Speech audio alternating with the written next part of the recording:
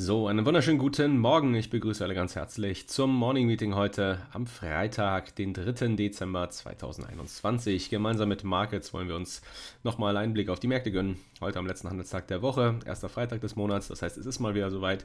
Heute stehen die Non-Farm Payrolls an die Arbeitsmarktzahlen in den USA, ähm, die ja, über lange Zeit mal sehr viel Volatilität begünstigt haben, Volatilität begünstigt haben, ähm, dann so ein bisschen begannen ins Hintertreffen zu rücken und jetzt wieder interessant werden, denn sie eventuell sind in der Lage, sind sie in der Lage, ähm, Volatilität zu begünstigen, ausgehend eben von überraschenden Prints, Erwartungshaltung dann im Hinblick auf eben den restriktiven geldpolitischen Kurs seitens der Fed, der ja durch die Aussagen von Jay Powell zu Beginn der Woche von dem US-Kongress nach letzter Woche, dem Auftreten der Omikron-Variante, dann dieser Covid-Mutante, und dergleichen ähm, aufgekommen sind, für etwas tatsächlich Verwirrung gesorgt haben.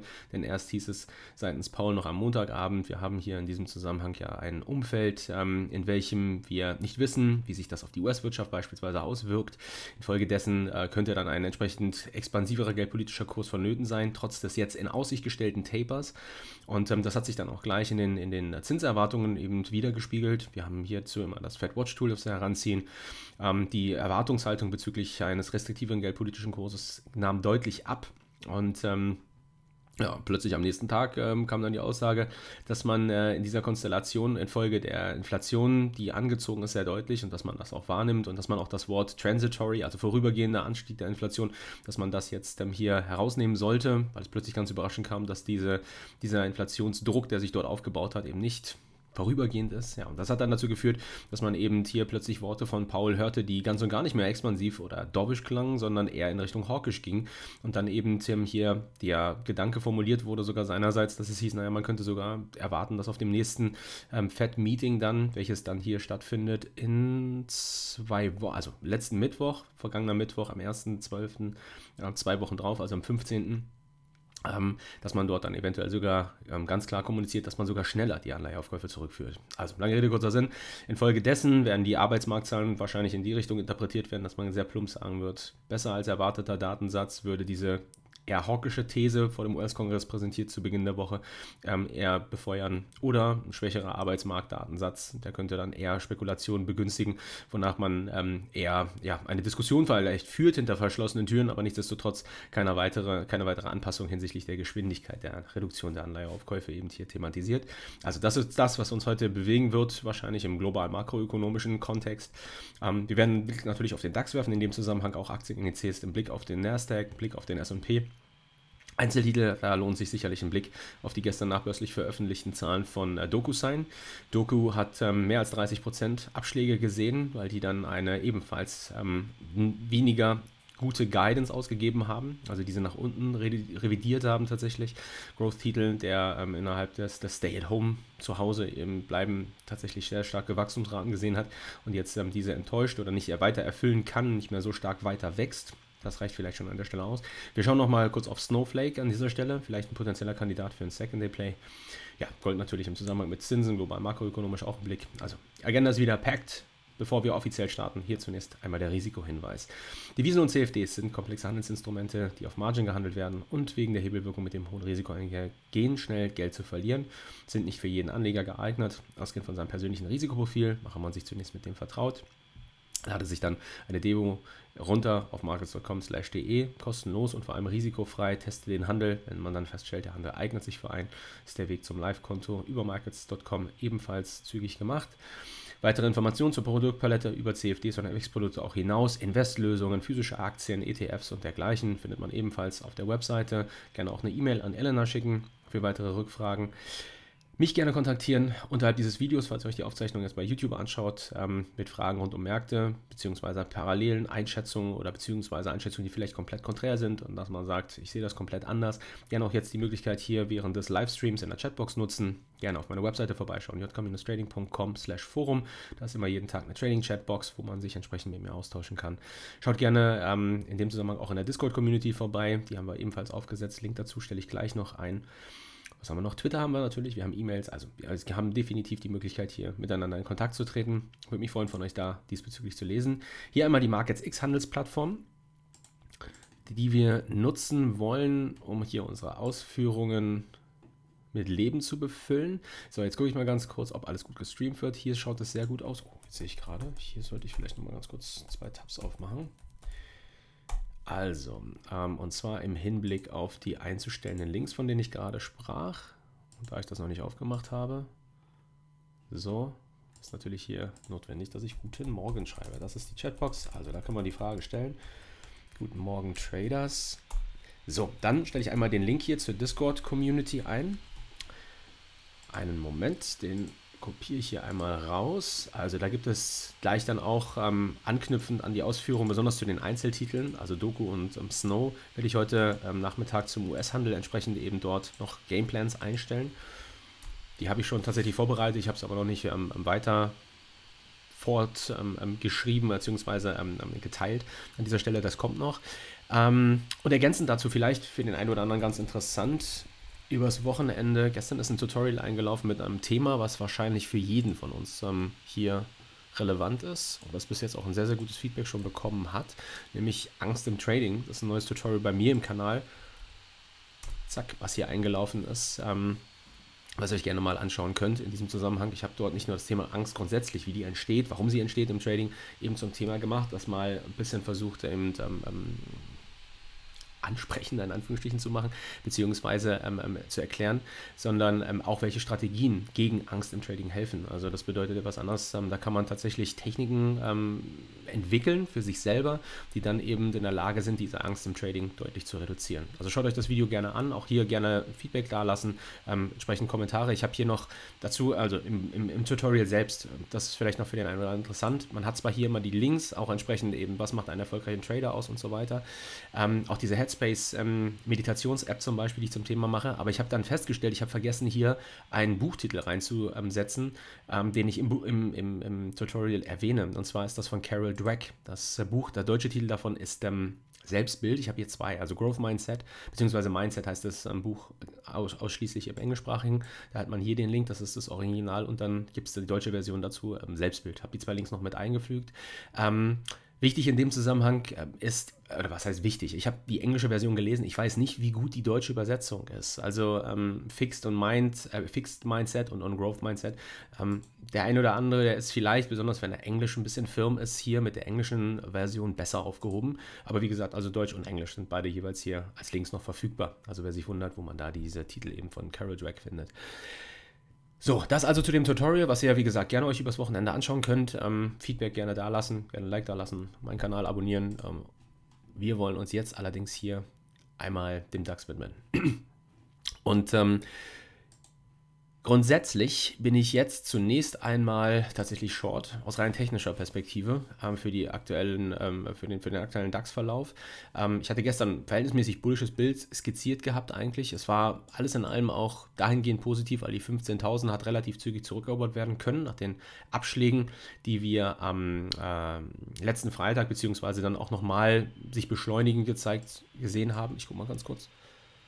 Dienstag war es tatsächlich. Das war gar nicht, das war gar nicht. Am Montag war ein relativ ruhiger Start in den Handelstag und dann kamen eben hier diese Kommentare von, von dem Moderna CEO Bouncel, der eben sagte, naja, die Impfstoffe, die werden wahrscheinlich nicht ähm, funktionieren, jetzt in Bezug auf diese, auf diese Omikron-Variante und dergleichen. Ähm, wir haben in dem Zusammenhang jetzt erste Fälle auftreten sehen, zum Beispiel ähm, in den USA, in New York die dann ebenfalls vielleicht auch mit dazu beigetragen haben, dass, dass da Intraday mehr Volatilität aufgekommen ist. Also zumindest führt man das jetzt so ins Feld ähm, in Bezug auf dieses Muster, was man im S&P hat die letzten Tage mal so ein bisschen erkennen können. Da war es so, dass die europäischen Indizes sich verhältnismäßig stark präsentiert haben. Also hier zum Beispiel im Falle des DAXes, nachdem wir diesen Flush auf der Unterseite gesehen haben nach den Kommentaren, sind wir recht solide in den Tag gestartet. Waren dann in der Lage, zum Beispiel hier auf der Intraday-Ebene auf 5-Minuten-Basis den EMA 50 zurückzuerobern und hatten dann schon eine sehr deutliche Korrekturbewegung eingeleitet. Dann kamen die Kommentare von Jay Powell in Bezug auf Omikron und dergleichen. Das lässt sich hier noch ähm, ähm, aus dieser Perspektive argumentieren. Dann gab es wieder eine Erholungsbewegung, die uns sogar auf höhere Hochs, deutlich höhere Hochs im Bereich bis 15.500 Punkte während des europäischen Handels geführt haben, nur um dann hier am Mittwoch diesen Push nochmal auf der Unterseite zu sehen zu bekommen. Das vielleicht war dann getragen eben durch, durch ähm, ähm auftretende Omikron-Fälle. Und wir haben dieses Muster eben jetzt diverse Male zu sehen bekommen. Also mindestens zweimal, beziehungsweise gestern gefühlt dann auch so ein bisschen, jedenfalls bei, bei diversen Einzeltiteln, dass wir nach initialen kurzen Aufschlägen in den Nachmittag hinein wieder deutlichen Abgabedruck gesehen haben. Und ähm, das ist eben etwas, das ähm, zeigt so ein wenig, dass das ähm, derzeit zumindest in den US-Märkten ein bisschen Sand im Getriebe ist. Der DAX kann sich aber dennoch verhältnismäßig stabil in diesem Zusammenhang präsentieren. Also ich bin erstaunt, ähm, wie relativ stark und widerstandsfähig sich der DAX im Hinblick eben auf diese US-Schwäche oder US-Aktienmarktschwäche präsentiert, beziehungsweise auch ähm, wie sich der DAX widerstandsfähig präsentiert im Hinblick auf ähm, die jetzt verabschiedeten Regeln beispielsweise, die auch von einer gewissen ähm, politischen Unsicherheit, so möchte ich es mal vielleicht formulieren, eben sicherlich sprechen. Ähm, Lockdown-Sorgen, die sind jetzt so ein bisschen ad acta gelegt, aber im Endeffekt ist es eigentlich nur anders genannt, gefühlt jedenfalls, ähm, was wir, was wir dort zu sehen bekommen. Und ganz besonders der, der Einzelhandel, der dürfte durch die jetzt verabschiedeten Maßnahmen, die wir ja schon seit geraumer Zeit in diversen Bundesländern sehen, also hier in Berlin ist sowieso ähm, ähm, nichts Neues, ehrlich gesprochen. Wir haben gefühlt ähm, die, die, die striktesten Regeln, die es überhaupt gibt. Nicht, dass ich immer dran halten würde, aber ähm, nichtsdestotrotz, also das sind immer dann ähm, so Aufschreie, die in den Medien kommen die man dann immer so ein bisschen einordnet, wo man dann nämlich feststellt, ähm, dass eigentlich Berlin dort diesbezüglich, also für mich beispielsweise oder generell für Berliner ändert sich da nicht viel, diese 2G-Einzelhandelsregelung, die gab es auch schon vorher. Ähm, Worum es aber hauptsächlich geht in diesem Zusammenhang ist eben, ähm, dass das langfristig nicht nur gesellschaftliche Auswirkungen haben wird, sondern mit Sicherheit auch wirtschaftliche Auswirkungen. Und bis jetzt ist man vielleicht in der Lage gewesen, ähm, den besonders Kollaps dann auch des Einzelhandels noch abzufedern durch entsprechende Hilfszahlungen und dergleichen. Aber ähm, ich befürchte, dass über kurz oder lang sich hier herauskristallisieren wird, dass eine Kaskade ähm, von Zahlungsausfällen, die sich ja schon zeigt, die wird nur nicht in den Medien breit gespielt, aber ähm, einsetzen dürfte, die dann auch entsprechend dann früher oder später auf den, auf den europäischen Bankensektor, also den deutschen Bankensektor entsprechend als Geldgeber die dann sich eben mit horrenden ähm, ähm, Zahlungsausfällen entsprechend konsultiert sehen werden, entsprechend eben hier die Bilanz zeigen wird, dass die eventuell sind, diese nicht abzufedern und das dann eben auch zu Verwerfungen im Bankensektor führen könnte. Ähm, das in Aussicht, muss ich sagen, ähm, ist etwas, wo ich aber dennoch jetzt hier sehe, dass der DAX darauf verhältnismäßig entspannt reagiert. Also eigentlich ist das schon ein Thema, was wie so ein Damoklesschwert, wie so ein Schatten seit geraumer Zeit eigentlich über den Markt schwebt. Also wirklich neu ist das nicht, aber nichtsdestotrotz, ähm, ich, ich finde erstaunlich, dass wir jetzt, wo die Unterstützung seitens der US-Märkte so ein bisschen versiegt, also ich will das allerdings alles ein bisschen relativ sehen. Also wir sind immer noch ähm, ähm auch im, im, im US-amerikanischen Aktienmarkt eben verhältnismäßig stark, beziehungsweise für das Jahr 2021 tief im grünen Territorium. Das ist immer noch maximal Sturm im Wasserglas, den wir dort sehen. Wir werden da gleich auch nochmal kurz einen Blick drauf werfen. Und ich denke auch, ähm, dass, dass ähm, so eine Korrektur gerade ich sag mal, gesund anmutet. Aber was ich eben erstaunlich finde, ist, und da kommt dann eben ähm, der, die Brücke zum DAX geschlagen, ähm, dass ich erstaunlich finde, ist, dass der DAX eben auf diese jetzt kurz durch dieses, dieses ähm, ähm Luftablassen oder diese Korrekturbewegung, ähm, die wir dort eben zu sehen bekommen, dass der DAX sich darauf immer noch sehr, sehr stabil präsentiert. Und ähm, Jetzt haben wir allerdings, so, und jetzt haben wir allerdings Intraday, das erste Mal so ein Anzeichen, wo ich sage, Übergeordnet bin ich zwar positiv, aber intraday sieht das jetzt nicht besonders gut aus, ähm, durch eben nicht nur die deutliche Haltung unterhalb des EMA 50 hier, sondern auch, dass wir übergeordnet hier oben ähm, auf Stundenbasis es nicht schaffen, die 15450, 15500er Region zurückzuerobern, beziehungsweise keine Anstalten bis jetzt gemacht haben, diese Abwärtstrendlinie zu brechen, die dann zeigen würde, ja, der Boden ist wirklich drin. Was nicht ist, kann definitiv noch werden, aber nichtsdestotrotz ist das etwas, was beunruhigend ist und ähm, wo wir dann vielleicht in den Folgestunden Stunden, auch entsprechend vielleicht nochmal mit entsprechendem Abgabedruck, den wir in den US-amerikanischen Aktienindizes heute Nachmittag vielleicht zu sehen bekämen, ähm, dass das eventuell dann nochmal eine Attacke auf die mindestens 15.200er Region nach sich zieht, beziehungsweise, wenn wir diesen Bereich dann hier rausnehmen um 15.2, dann nochmal sogar eine Attacke auf die 15.000 ähm, ähm, initiieren könnte sollte man durchaus auf dem Schirm haben und ist infolge eben der aktuellen Vorstellung hier im DAX ähm, durchaus, durchaus denkbar, dass solch ein bärisches Kursszenario ähm, sich dann herauskristallisiert. Positiv bullish würde ich wirklich erst mit einem Bruch hier, also kurzfristig bullish, wenn wir jetzt nicht nur neue Tageshochs markieren, sondern nach Möglichkeit dann auch in diesem Zusammenhang die 15500er Region rausnehmen. Ob es dazu diesen in den Wochenschluss hinein reicht, müssen wir mal abwarten. Ja, die Non-Farm Payrolls stehen an ähm, und ich will das mal ganz kurz hier zeigen. Trading Economics habe ich das schon vorbereitet. Die von Payroll stehen an. Erwartungshaltung liegt bei 550.000 neu geschaffenen Stellen ex Agrar. Ähm, ADP-Zahlen, die schon am, jetzt muss ich kurz überlegen, ja, vorgestern, genau, am Mittwoch veröffentlicht worden sind, haben leicht ähm, ober der, oberhalb der Erwartung gelegen, sind bei 534.000 ausgegeben worden. Hier ähm, mit, mit 525.000 ähm, ähm, erwartet.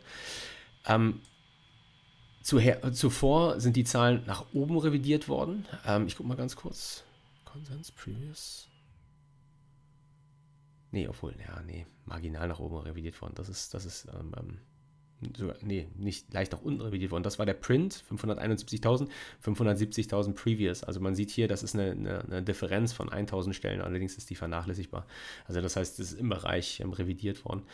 Ähm, aber, also zurückkommt, wie gesagt, ADP-Zahlen, wir wissen, die sind positiv korreliert zu den Non-Farm Payrolls, wie erwartet veröffentlicht worden. Das ist eine verhältnismäßig solide ähm, ähm, ähm Performance am Arbeitsmarkt, die man hier ausmachen kann. Das heißt also, ein Print hier im Bereich eben um 550.000 plus minus 30.000 ähm, neu geschaffene Stellen extra wäre etwas, wo ich ähm, sagen würde, ähm, da ist nicht besonders viel Volatilität zu erwarten. Interessant würde es, wenn wir einen Print zu sehen bekämen, der deutlich unter der Erwartung liegt, also auch unter 500.000 hier an dieser Stelle veröffentlicht würde. Ähm, erstens, weil das überraschend käme in, im Zusammenhang mit den ähm, soliden ADP-Zahlen, aber besonders auch deswegen, weil es eben die Wahrscheinlichkeit reduzieren würde, dass ein restriktiver geldpolitischer Kurs ähm, eine Option darstellt, dann auf der ähm, ähm, oder herausgehend aus den Diskussionen, die ja angeblich hinter verschlossenen Türen im Hinblick auf einen schneller als erwarteten Taper jetzt ähm, ähm stattfinden sollen, so wie jedenfalls von Jay Powell vom US-Kongress kommuniziert.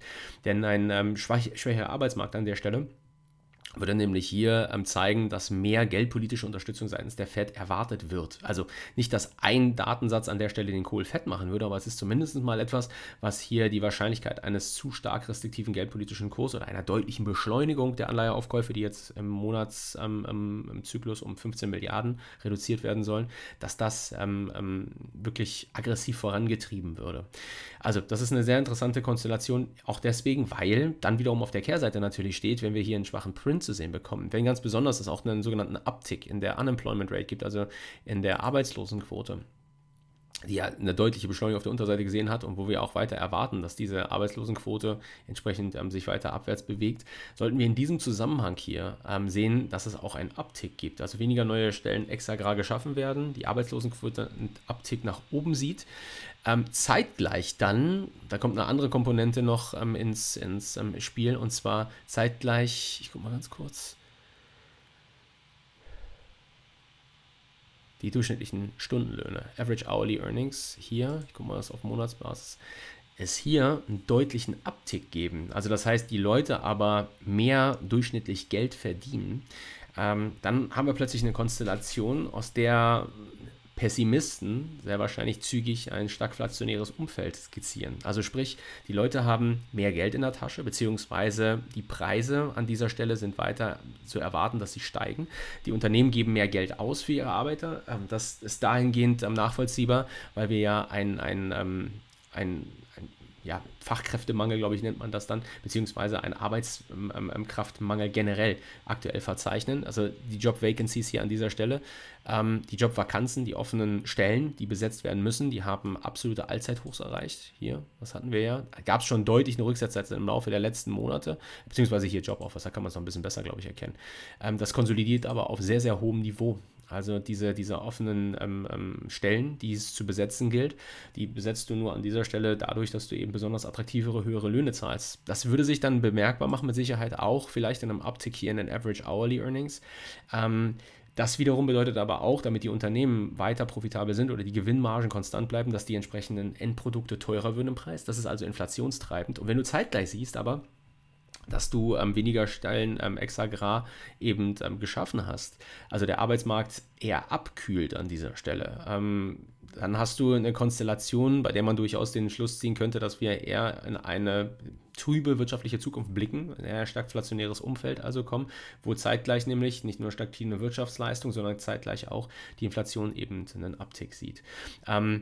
Das ist durchaus auch eine Interpretation, wie man, wie man äh, die, die ISM-Zahlen hier ähm, interpretieren könnte, die jetzt unter der Woche veröffentlicht worden sind. Ähm, wie gesagt, das ähm, ist im Hinterkopf zu halten. Ich würde es derzeit nicht überbewerten wollen, weil das sind keine wirklich neuen Erkenntnisse an dieser Stelle. Das wissen wir schon seit geraumer Zeit. Aber es wäre zumindest etwas, was dann eben hier im Hinblick auf den DAX beschleunigend nochmal auf der Unterseite wirken könnte. Also eigentlich sind schwache Zahlen, die jetzt veröffentlicht werden, aus den Non-Farm Payrolls positiv für Aktien, denn sie reduzieren die Wahrscheinlichkeit, dass dieser kommunizierte, hawkischere ähm, ähm Unterton eben dann auch wirklich in die in Tat umgesetzt wird, seitens Paul vom US-Kongress.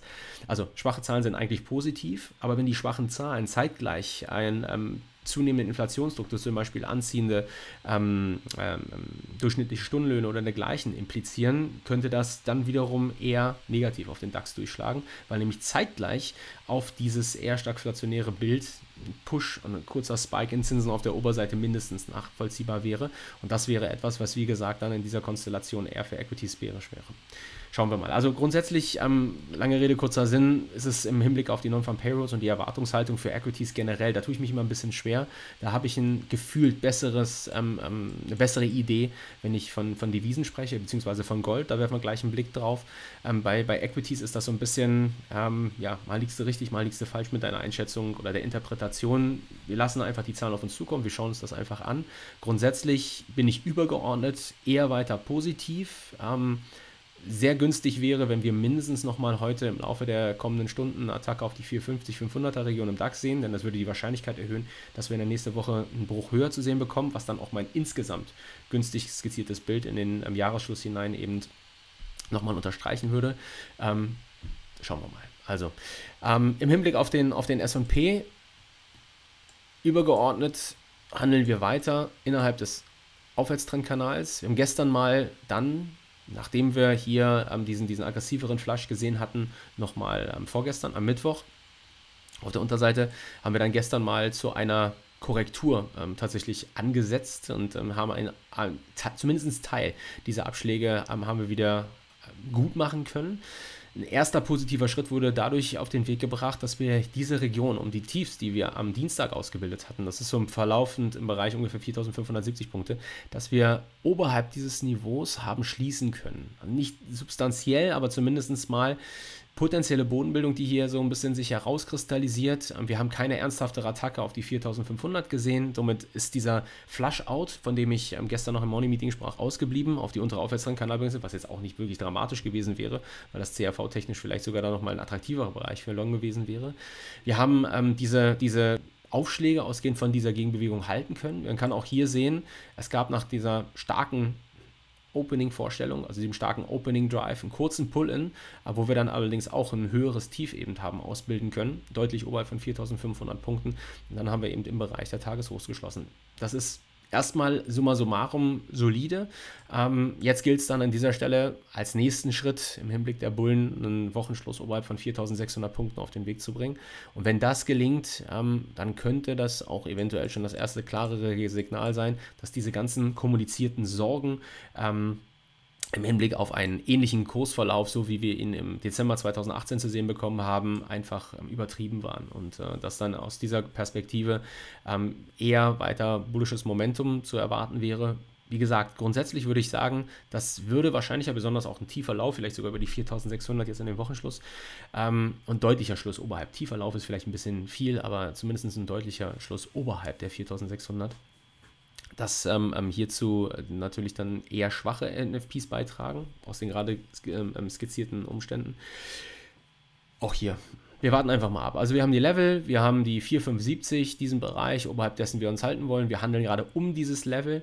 Ähm, mal schauen, wie sich die europäischen Indizes jetzt noch präsentieren. Sollten wir zügig zur US-Eröffnung entsprechend dieses Level ähm, hier deutlich halten können, ähnlich wie gestern mit dem starken Opening Drive, den auch heute zu sehen bekommt, der uns über 4,6 führt, dann wäre das etwas, was sicherlich auch für den DAX günstig zu werten wäre, was die Wahrscheinlichkeit erhöhen würde, dass wir in dem Bereich bis 4.000, äh, Entschuldigung, der Falle des DAX ist 15.000, 15.400 50, 15.500 Punkte eventuell laufen, in dem Bereich schließen.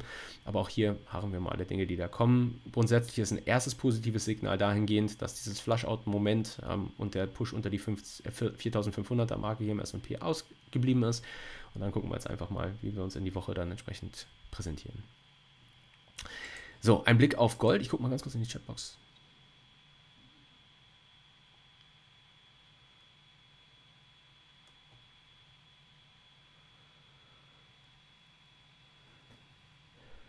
Ähm, okay, einen Moment. Ähm, ich weiß nicht, ähm, ob ich das jetzt als, als Grund nehmen würde. Ähm, Frage, würde ich den, ähm, ähm den deutschen ähm, Index, also DAX an der Stelle, beziehungsweise ähm, den, den österreichischen, österreichischen Index shorten. Ich muss mal ganz kurz was gucken. Einen Moment. Einen Moment, einen Moment, einen Moment. ATX ist das, ne? Ja. Ich glaube ja, der ATX, den habe ich jetzt nicht so wirklich auf dem Schirm. Ähm,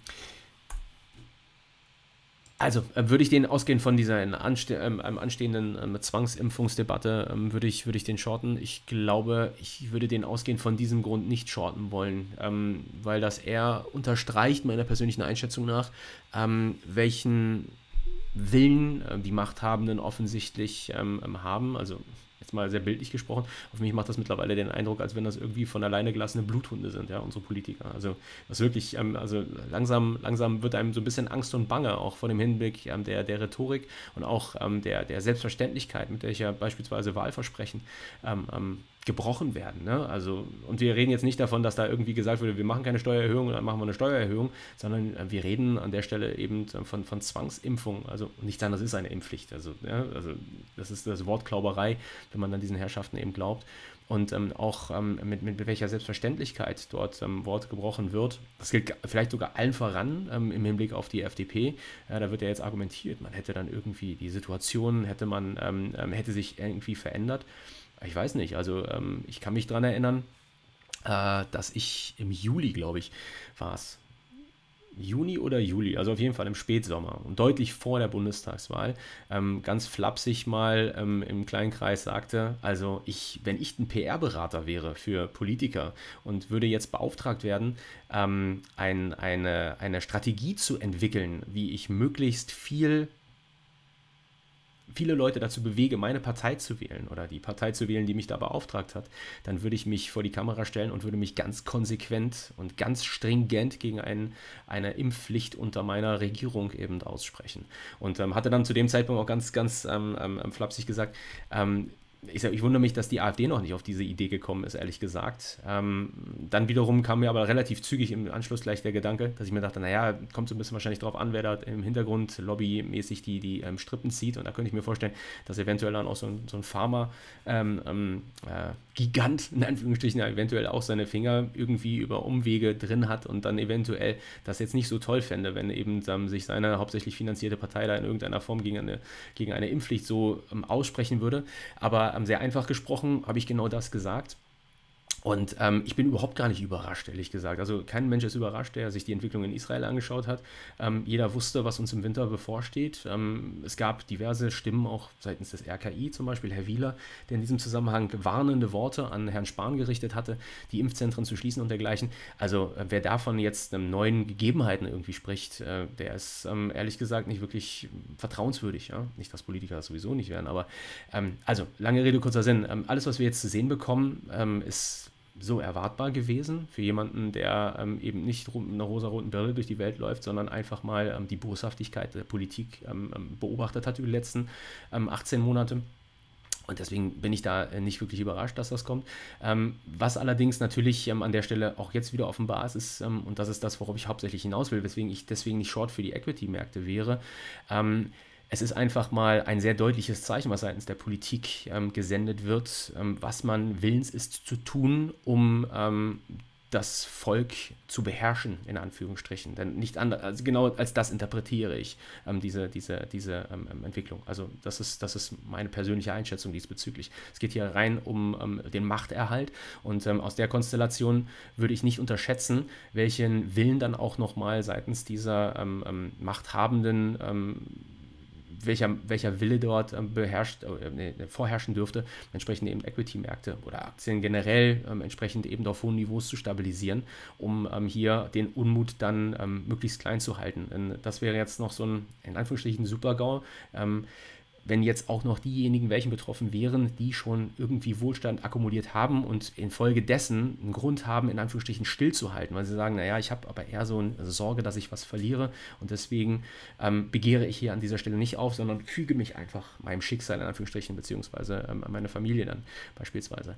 Und ähm, in dem Moment, wo jetzt auch noch Turbulenzen an den Finanzmärkten auftreten würden und dann auch noch diese Menschen eben irgendwie in irgendeiner Form Einbußen zu verzeichnen hätten und dann eventuell aus dieser Perspektive sagen, ja gut, dann habe ich auch nichts mehr zu verlieren. Das ist natürlich sehr einfach, sehr flapsig gesprochen, aber einfach, dass man so die Psychologie dahinter stellt, ähm, glaube ich, wird man ähm, vieles dafür tun, entsprechend die Märkte auf hohem Niveau zu stabilisieren. Ganz besonders eventuell in Europa, vor dem Hintergrund der, der ähm, aktuellen ähm, Situation, so wie sie sich eben darstellt. Ähm, also deswegen würde ich an dieser Stelle eben äh, nicht, nicht ähm, an der Stelle hier ähm, ähm davon ausgehen, dass, dass solche, solche ähm, totalitären Strukturen, wie sie jetzt etabliert werden, ähm, dazu führen, dass die Finanzmärkte unter Druck geraten. Also da wird man, da wird man schon Mittel und Wege finden, entsprechend eben die Märkte auf hohem Niveau zu, zu stabilisieren. Ähm, so, jetzt sind wir ein bisschen von den höchsten auf schlechten gekommen, ein bisschen abgeschweift. Gold, Blick auf Gold. Also, ähm, weiter eine unglaublich schwache Performance, die wir hier zu sehen bekommen. Also nach dem Bruch jetzt dieser Trendlinie, die hatten wir als zunächst einmal möglichen Bereich für ein Long-Engagement zum Thema gemacht gehabt vor einigen Tagen. Ähm, letzte Woche, glaube ich, haben wir damit begonnen, den Bereich zu thematisieren. Da dürfen wir jetzt definitiv von einem Bruch sprechen, ganz zu schweigen davon, dass sich hier auf der über, also das ist übergeordnete Bild unten der Daily, hier oben die Stunde, dass sich auch eine Abwärtsstruktur etabliert, fallende Hochs, fallende Tiefs an dieser Stelle ähm, die, wir, die wir jetzt hier zu sehen bekommen. Das ist ein ganz klar bärisches Umfeld, in dem wir uns jetzt hier entsprechend ähm, wiederfinden. Und wo ich über kurz oder lang eher davon ausgehe, dass wir nochmal einen Flush auch unter hier diesen Bereich um 1760 zu sehen bekommen. Eine Attacke gestern hat es schon bereits gegeben. Ziel dann in dieser Konstellation läge um 47, 57 ungefähr. Ähm, was natürlich jetzt interessant wird, wird in dieser Konstellation sein, wie sich dann die Non-Farm Payrolls eben entsprechend ähm, hier niederschlagen werden.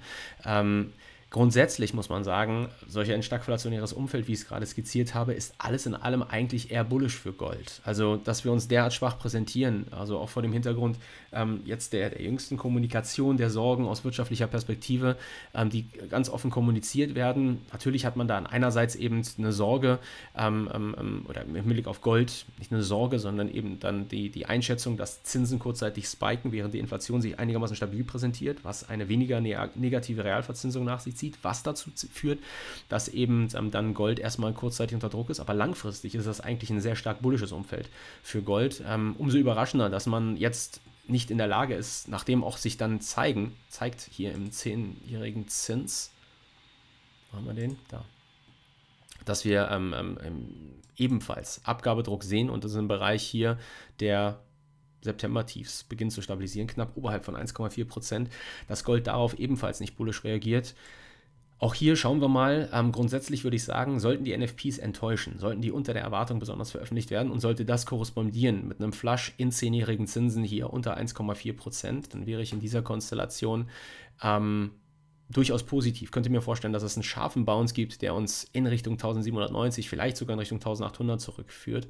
Ähm, allerdings, wie gesagt, das setzt voraus, dass auf schwache NFPs auch wirklich der Zins dann diesen Flash auf der Unterseite sieht. Sollten die NFPs schwach veröffentlicht werden und äh, zehnjährige Zinsen sich nahezu stabil halten, weil das vielleicht größtenteils antizipiert wurde, also vorweggenommen wurde, könnte das dazu führen, ähm, dass wir hier nochmal einen Spike auf der Unterseite in, in Gold sehen. Also auch da schauen wir mal, wie sich, wie sich das Bild darstellt. Schlüssellevel, wie gesagt, 67. Sollten wir die unterschreiten, 745, dann ist nochmal weiterer Abgabedruck zu erwarten. Bei ähm, NFPs, die unter der Erwartung veröffentlicht werden, beim zeitgleichen Flaschenzinsen unter 1,4, wie gesagt, Bounce Richtung 1785, 1790. Ähm, allerdings nur für kurze Plays in Anführungsstrichen. Also grundsätzlich bin ich für, für Gold nicht mehr sonderlich positiv, aktuell jedenfalls. Ab der zweiten Dezemberwoche könnte das sein, dass sich das ändert, das Bild. Da müssen wir anschauen. Das müsste allerdings auch korrespondieren mit der entsprechenden äh, technischen Voraussetzung, weil das ein saisonal eigentlich günstiges Umfeld ist. Ähm, begünstigt sicherlich dann auch durch die entsprechend zu erwartende US-Dollar-Schwäche in diesem Zeitfenster. Ähm, grundsätzlich, wie gesagt, sieht das jetzt hier erstmal nicht mehr so positiv aus, besonders nachdem wir eben diese, diese Trendlinie ähm, zunächst gebrochen haben und beginnen hier eine Sequenz fallender Hochs, fallender Tiefs eben zu etablieren. Stichwort US-Dollar. Kurzer Blick mal auf den Euro-US-Dollar. Ähm, der fängt an, sich so ein bisschen wieder zu stabilisieren. Also wir haben den Bereich jetzt so, so, so eine Inflection irgendwie um 1,13, um die wir uns hier ähm, ähm, ähm, stabilisieren. Heute früh kurzer Flash mal auf der Unterseite, aber alles in einem relativ ähm, ähm, unspektakuläres Umfeld soweit. Ähm, auch hier, also meine Tendenz geht wirklich in Richtung eher schwächere NFPs. Das ist natürlich entsprechend anzupassen, ähm, wenn man die Long-Seite skizziert. Ich gehe jetzt mal ähm, in der These davon aus, dass diese eher unter der Erwartung veröffentlicht werden. Ähm, einfach durch die, durch die ähm, ähm, ja, dann auch wieder nicht so imposanten ADP-Zahlen. Vielleicht hauptsächlich, so könnte man das jetzt mal grob ähm, skizzieren. Ähm, ich würde auch denken, das passt besser in einfach den Willen, der sich irgendwie in den Worten meiner Einschätzung nach widerspiegelt. Ähm, ganz besonders der, der Fed bzw. dann Jay Powells mehr Liquidität liefern zu wollen, weil man eben doch davon ausgeht, dass mehr Liquidität nötig ist, um ähm, das Spiel in Anführungsstrichen am Laufen zu halten. Ist mal sehr plump gesprochen. Und demnach könnte ich mir vorstellen, dass da vielleicht schon der Wille besteht, auch seitens des Bureau of Labor Statistics vielleicht ähm, ähm, einen etwas schwächeren Datensatz zu veröffentlichen. Ja? Also jetzt wird man sich fragen, hm, meint er das ernst, dass da irgendwelche Zahlen manipuliert werden oder dergleichen? Ja, mittlerweile schon. Ähm, ich glaube, und der Grund dafür, der findet sich ja auch ähm, an nachprüfbarer Stelle. Also wir müssen uns mal anschauen, wie ähm, die Zahlen, die nichts wert waren eigentlich, im letzten Jahr veröffentlicht worden sind, als dann immer so in einer, in einer Fußnote auf die, auf die entsprechenden Berichte im Grunde genommen gesagt wurde, man weiß eigentlich gar nicht, wie sich die Situation wirklich am Arbeitsmarkt darstellt, ausgehend von den ähm, Corona-Verwerfungen und infolge eben der Umstände, dass da beispielsweise Hilfsgelder geflossen sind an Unternehmen, ähm, die dann, wenn sie bestimmte Arbeiter eben weiter auf der Pay Payroll gehabt haben, also weiter bezahlt haben, eigentlich sich dadurch dafür diese Hilfsgelder qualifiziert haben. Und ähm, da konnte man ja durchaus ähm, schon den, den, den Eindruck gewinnen, dass diese Zahlen ähm, nicht wirklich äh, real die wirtschaftliche Situation abbilden. Und demnach wäre ich nicht überrascht, wenn man jetzt im Gesamtkontext vielleicht dann da zwei, drei ähm, Stellen in Anführungsstrichen hinten runterfallen lassen würde. Also so, so weit ist es schon, dass ich da noch nicht mal glaube, dass das, dass das, das sind zwar offizielle Zahlen, aber nicht wirklich die wirtschaftliche Situation abbildende Zahlen. Und ähm, ich könnte mir irgendwie, das ist ein Gefühl, vorstellen, dass infolgedessen die NFPs eher unter der Erwartung veröffentlicht werden. Ähm, so wäre, also wie käme es tatsächlich so, dann wäre das natürlich etwas, was, wie gesagt, gerade eben skizziert, besonders wenn der Zins unter 1,4% rutschen würde, für Gold bullisch wäre. Zeitgleich hieße das auch, dass das für ähm, in dem Fall hier ähm, ähm, äh, den Euro-US-Dollar eher bullisch wäre, US-bärisch wäre also folglich, dass es dann vielleicht zu, einer, zu einem Push in Richtung der 1,1370er Region hier in dem Bereich um die Hochs kommen könnte. Ähm, mit dessen Überwinden wir dann vielleicht auch eine tiefere Korrektur in der Lage sind, auf den Weg zu bringen, der uns, naja, vielleicht in Richtung früher oder später dann hier dieser oberen Abwärtstrend Kanalbegrenzung führt Richtung 1,15. Ändert allerdings nichts daran, dass das übergeordnete Bild für den Euro-US-Dollar hier innerhalb dieses Abwärtstrends weiter short bleibt. Also das ist zwar jetzt saisonal begünstigt besonders, ähm, mal kurz ein, ein ähm, ähm Modus, besonders wenn wir uns oberhalb von 1,1370 vielleicht dann konsolidieren können, dass wir ähm, eine ausgeprägte Korrekturbewegung sehen, aber übergeordnet bleibe ich für den Euro dennoch sehr, sehr ähm, ähm skeptisch und eher short. So, also das zum Euro-US-Dollar, das zu Gold. Equities, Equities, Equities natürlich. Also zunächst einmal ein Blick auf Snowflake, einen Augenblick. Guck mal kurz, was in meinen Chat. Box.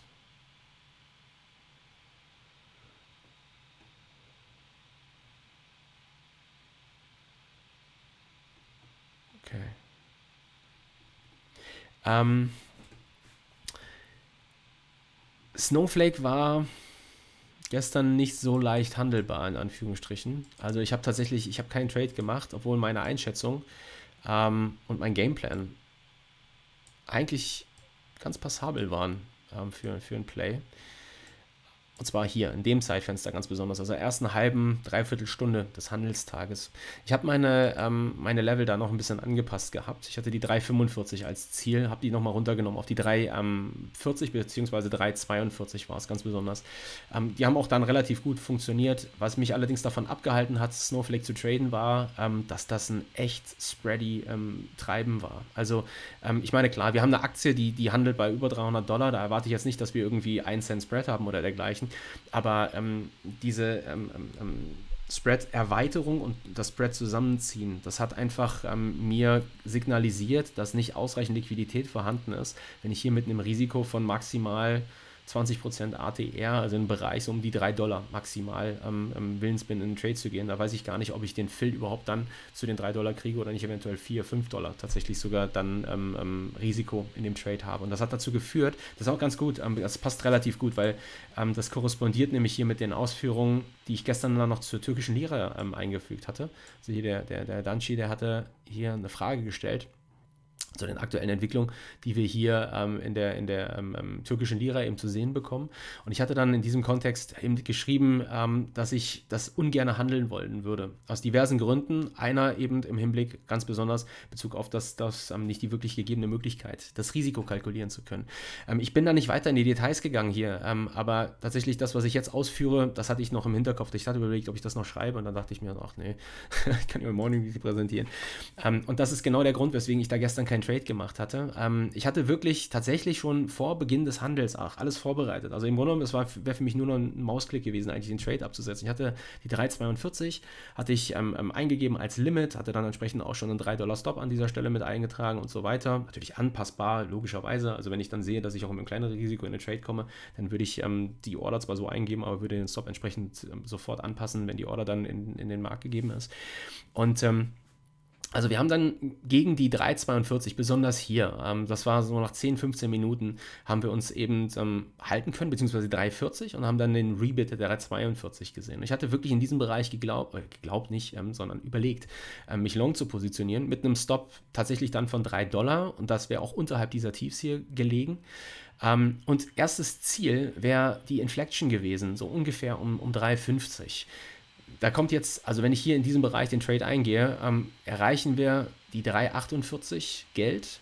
Dann kommt nochmal ein Bounce. Der hätte mich wahrscheinlich rausgeholt, weil ich zwischenzeitlich, wenn ich hier dann gegen die 3,42 Long bin, da liege ich ja 6 Dollar vorne auf den Trade, das sind 2 ähm, R. Da kann ich legitim den Stop nachziehen. Ähm, hätte dann in dem Fall wahrscheinlich den Stop-Out gesehen, in dem Moment hier vielleicht, ähm, wenn ich sehe, dass dieses Level erneut gehalten werden kann, nochmal ein zweiter Versuch, 3,42 mit Stop 3,39, in dem Fall also 3 Dollar. Und dann laufen wir in drei, Richtung 3,50, ähm, die ich dann übrigens als meine Inflection hatte, wo ich eine Teilgewinnmitnahme auf den Weg gebracht hätte. Anders formuliert, also das wäre jetzt nicht der, der Jahrestrade geworden, aber es hätte zumindest mal sich profitabel, wäre sich das ausgehend von den äh, formulierten Leveln eben ausgegangen. Aber, und das ist genau der Punkt, ähm, ich habe mich eben dagegen entschieden, den Trade zu machen, weil ich nicht wirklich das Risiko kalkulieren konnte. Also das war wirklich echt spready und das ist auch etwas, eine Information, die ich für heute mitnehmen würde, auch wenn sich die Aktie für ein sogenanntes Second Day Play ähm, qualifiziert. Und wie mache ich das? Wie, wie komme ich auf, auf Second Day Plays? Ähm, an der Stelle möchte ich Folgendes sehen. Ich möchte sehen, dass die Aktie ähm, erstmal einen starken Earnings Release hatte. Das hatten wir ja. Und dann auf diesen starken Earnings Release ähm, hat die, in dem Fall ist es dann dieses Gap gewesen. Ja, das ist ein klares Signal zum Schlusskurs hier von, von ähm, kurz rechnen, Mittwochabend war es. Zum Schlusskurs gestern die Eröffnung, die lag hier deutlich mehr als 10% im positiven Territorium. Wir sehen so einen leichten Flush-Out-Moment dann, ähm, nachdem die, die 339, äh, 340 hier droppt, sehen wir eben einen kurzen Flush Teil Gap Close, aber das Gap kann dennoch gehalten werden. Das ist eigentlich ein starkes Signal und ist nochmal ein stärkeres Signal, wenn ich dann ausgehend von diesen Tiefs hier ähm, um 3,25 eben ein Close zu sehen bekomme, dort im Bereich der Tageshochs. Also von dort nochmal 35 Dollar anziehe, auf den Tageshochs eben tatsächlich schließe. Das sieht dann auch hier, besonders wenn man sich die, die übergeordnete Konstellation anschaut. Ne? Diesen Aufwärtstrendkanal, äh, Aufwärtstrendlinie, die hatten wir zum Thema gemacht, gesagt, das könnte sogar längerfristig auch ein interessanter Bereich sein, gegen den wir hier an dieser Stelle ähm, ähm uns long positionieren. Wir sehen den Bounce, wir sehen den Close, wir sehen jetzt eine tiefgrüne Kerze in dem Zusammenhang. Ähm, und naja, also lange Rede, kurzer Sinn. Wir haben also eine ATR und mehr als Move gesehen, tatsächlich von den Tagestiefs hier rauf zu den Tageshochs. 35 Dollar, die ATR für ähm, Snow liegt bei etwas mehr als 15 Dollar, mittlerweile 16 Dollar, glaube ich. Gestern ist sie ein bisschen angezogen hier. Moment, Snow, ja, jetzt sind wir, okay, jetzt sind wir bei 19 Dollar. 19 Dollar 72 ist es an der Stelle. Ich hatte gestern in meinen Aufzeichnungen, hatte ich, ähm, hängt doch ein bisschen von der Aggregation ab, jetzt habe ich gerade gesehen, ich glaube 16 oder 17 Dollar, Pi mal Daumen. Aber egal, zweifache ATR ist es auf jeden Fall.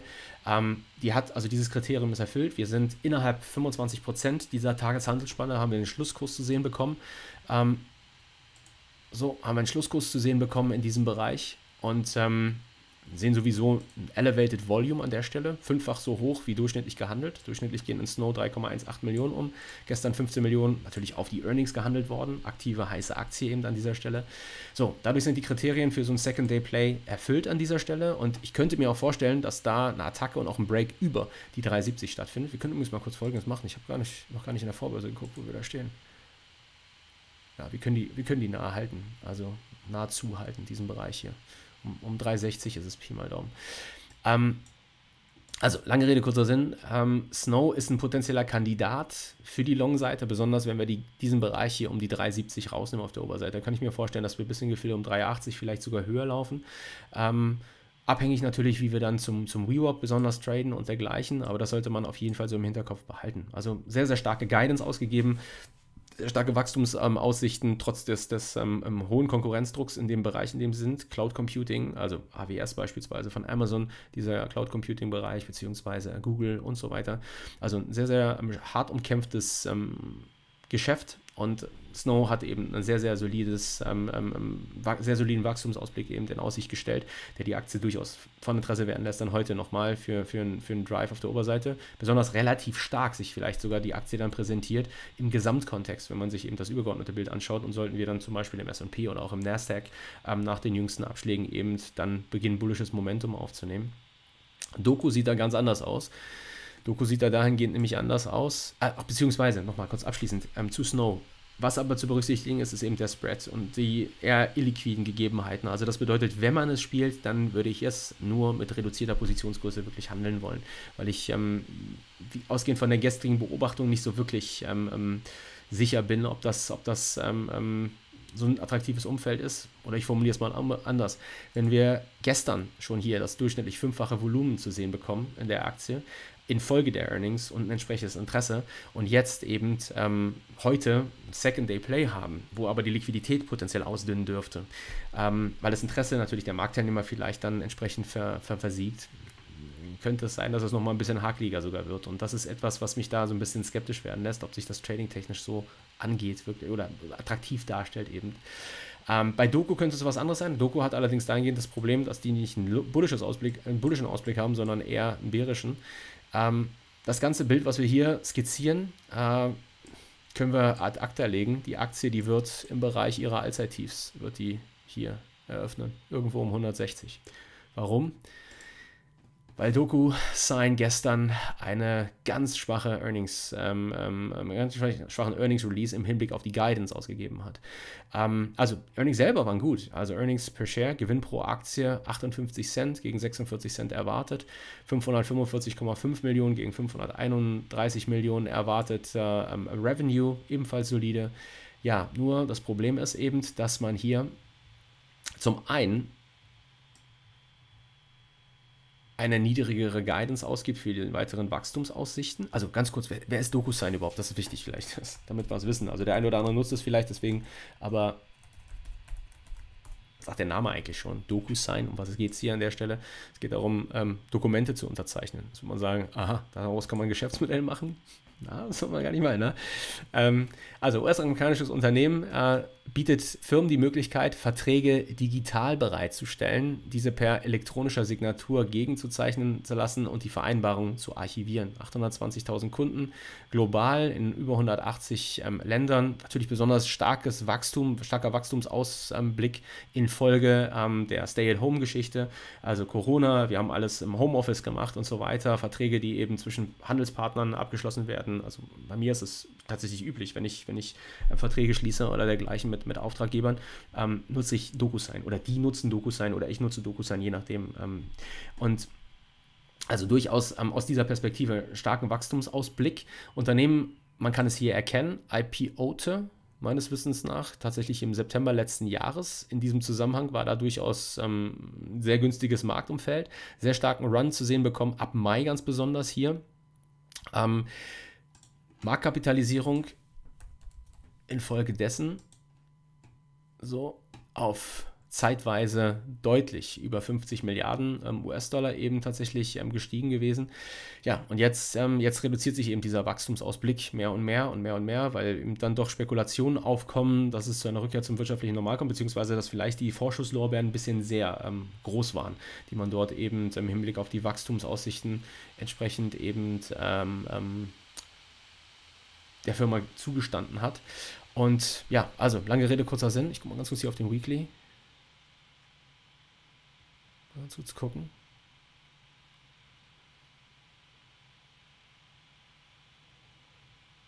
Also das Unternehmen, das gab es schon vorher. Ja, das, das gab es schon vorher. Das ist ähm, hier, das ist schon in 2018 an die Börse gegangen, nur hier bei Markets. Deswegen ist die Kurshistorie auf, auf September 20 beschränkt. Ähm, es sind gar keine Allzeittiefs. Also hier sind es, es sieht nach Allzeittiefs aus, aber da kommen wir nur zurück. Da habe ich mich, da habe ich jetzt gehört, das stimmt nicht. Das, die Aktie, die hat schon mal substanziell tiefer gehandelt, hat dann starkes Momentum natürlich gesehen, Wachstumsaussichten und dergleichen durch im Stay at Home. Jetzt sind wir unter diese Konsolidierungstiefs aber hier gerutscht. Also unterhalb derer wir hier eröffnen werden. In dem Bereich, das können wir auch hier sehen. Das sind zwar keine Allzeit-Tiefs, aber nichtsdestotrotz ähm, ist das eine wichtige Unterstützungsregion, die bis dato diese Aufwärtsbewegung ähm, intakt gehalten hat. Und äh, diese ist jetzt definitiv gebrochen. Also dieser starke Wachstumsausblick, besonders hier, den wir, den wir über 20 dann ab März, April, Mai so gesehen haben, 2020, ähm, der wird jetzt eben größtenteils wahrscheinlich korrigiert werden. Und da ist einiges an, an Abschlagspotenzial, eventuell durch, diesen, durch diese niedrige Guidance. So, lange Rede, kurzer Sinn. Also potenzielles Earnings Play von der Short-Seite gilt ganz besonders dann in dem Moment, wo wir so jetzt hier nicht über 170 zurücklaufen. Das könnte dann in der Nachbörse könnte das ein ziemlich ähm, ähm, oder ist es schon vielleicht sogar tiefer 165 hier ist das ein äh, Level unterhalb dessen wir eher die Shortseite favorisieren sollten, wo ein tiefer Lauf unter die 160 erwartet werden sollte. Auch bei DocuSign gilt es allerdings ein bisschen vorsichtig zu sein. Also die Aktie, hier haben wir einmal den Pre-Market Screener von, von MarketWatch, die wird zwar jetzt schon sehr aktiv gehandelt, 111.000 Stücke, die da bis dato umgegangen sind. Ähm, und es sieht nicht danach aus, dass, dass sich hier irgendwie ein Bounce abzeichnet oder dergleichen. Also das könnte durchaus ein ähnliches dramatisches Ausverkaufsszenario auch in den Folgetagen geben, wie zum Beispiel in Zoom oder auch in Peloton, die sich bis dato nicht wirklich haben ähm, erholen können nach ihren eher nach unten revidierten Wachstumsausblicken. Ähm, also weiteres bärisches Potenzial. Das, was eben jetzt hier in diesem Zusammenhang ein bisschen berücksichtigt finden muss, ist, das durchschnittlich gehandelte Volumen liegt bei 2,28 Millionen Stücken. Also nochmal niedriger als bei Snowflake. Das könnte also auch ein etwas spreadigeres Umfeld werden. Ähm, vielleicht, weil die Aktie nicht so schwer ist, ähm, um 150, 160 Dollar, vielleicht ein bisschen mehr ähm, Interesse nach sich ziehen, aber durchaus auch etwas, was man im Hinterkopf behalten sollte. Ja, ähm, also wir haben zwar einerseits ein, Play, welches sich hier auf der Shortseite formulieren lässt, unterhalb, wie gesagt, der 165. Ziel deutlicher Lauf unter unter die 160 an der Stelle, vielleicht sogar lower 150s, also das heißt 150 bis 155 vielleicht sogar im Bereich, den wir anlaufen können. Ähm, nichtsdestotrotz sollte man im Hinblick auf die Positionsgröße ausgehen von diesem eher spreadigeren Umfeld vielleicht äh, ein bisschen Vorsicht walten lassen. Das nicht zu aggressiv traden. Sofern wir uns oberhalb von 170 besonders stabilisieren können, ist Short erstmal vielleicht vom Tisch. Also das ist etwas, das sollte man im Hinterkopf behalten. Mir gefällt eigentlich die Long-Seite im Gesamtkontext besser, deswegen ist eigentlich Snowflake, auch besonders vor dem Hintergrund der Earnings und Guidance, ein attraktiverer Kandidat, besonders im übergeordneten Markt, aber das ähm, ähm, ähm, ja, ein Shortplay ist an der Stelle eben eventuell ein bisschen trickier, trickier. Einfach deswegen, ähm, weil, wir, weil wir bei solch einer Korrekturbewegung, die wir im übergeordneten Markt sehen, dann vielleicht den Abgabedruck auch dämpfen im Hinblick hier auf, ähm, ähm, auf das weitere Abwärtspotenzial in Doku. Nichtsdestotrotz, also, wir haben es gesehen. Ich mache das mal ganz kurz hier noch auf. Python, Peloton und Zoom nach ebenfalls schwachen Earnings oder besonders Guidances ähm, hat sich Peloton von diesem damals dramatischen Gap Down nie wirklich erholen können, sondern hat eher noch weiteren Abgabedruck gesehen. Stößt sich nicht wirklich hier stärker ab gegen diese ähm, Niveaus. Zoom sieht ähnlich schwach aus, wenn wir es hier mal anschauen. Die Aktie hatte kurzen Bounce gesehen, ähm, ist aber jetzt dann, nachdem es gegen 2,30 wieder übergerollt ist, sehr deutlich ähm, unter die 200er Marke gefallen. Also das ist wirklich ein nicht, nicht schönes Umfeld, in dem sich ähm, diese Wachstumstitel, die eben diese, diese massiven Wachstumsraten in 2020 gesehen haben und infolge dieser diese, diese, diese aberwitzigen Läufe ähm, ähm, produziert haben, ähm, haben ja, also die sind ein bisschen sehr ahead of themselves gelaufen. Und ähm, das bedeutet etwas anders formuliert. Also wir haben, wir haben jetzt hier tiefe Korrekturen, die sich vielleicht dann auch in Titeln wie Doku widerspiegeln könnten, wo wir in Doku eventuell bis in Gefilde dann verkauft werden, zurück, vielleicht sogar in die 120er Gefilde oder dergleichen, sollte sich dieses bärische Momentum fortsetzen. Also von der Long-Seite sind das eher unattraktive Kandidaten derzeit. Der Abgabedruck könnte aber in Doku ein bisschen nachlassen, sofern wir wieder über die 170er Marke laufen. So, das also zu den Einzeltiteln, die heute interessant sind. Ähm, So, jetzt muss ich mal kurz überlegen. Muss mal kurz überlegen an dieser Stelle, ähm, ob wir alles haben, aber ich glaube schon. Ich glaube, ich glaube schon. Wir können auch mal kurz einen Blick werfen auf Bitcoin vielleicht. Unser Szenario, was wir gestern hier skizziert hatten. Bis jetzt noch nicht getriggert worden. Positiv mit Sicherheit, dass wir zumindest jetzt, so wie es hier erstmal den Anschein macht, diese Region haben halten können, um roundabout 6 und, ja, vielleicht ein bisschen tiefer, 55,5, 55.500 ungefähr. Also die untere Range-Begrenzung, die hält. Ähm, nichtsdestotrotz, ich möchte jetzt hier noch nicht long sein, beziehungsweise man könnte es auch so gehen. Also mutigen gehört die Welt, könnte man sagen. Aggressiv. Ein erster Long hier gegen das Halten dieser Region, jetzt aus dem aktuellen Bereich, mit einem kleinen Risikostop unterhalb dieser Range-Begrenzung. Und dann wäre natürlich das Ziel, diese Position weiter aufzustocken, sollte dann der Bruch über diese blaufarbene Linie stattfinden, also die Rückeroberung der 59.000 stattfinden. Dadurch, dass ich hier den Entry natürlich wähle, hätte ich einen besseren Average für die Position, logischerweise. Wenn ich jetzt hier die 56 8, machen wir es rund, machen wir 57.000. Wenn ich die jetzt kaufe ähm, und dann die zweite Position bei der 59 drauf stocke, habe ich einen Durchschnittspreis von 58 statt von 59.000, was natürlich mein Risiko hier für den Trade reduzieren würde, wenn ich den Stop unterhalb der Range lege bei 55, ja, 55,8, 55,5 ungefähr. Ähm, würde das CRV grundsätzlich natürlich für den Trade ähm, ähm, verbessern.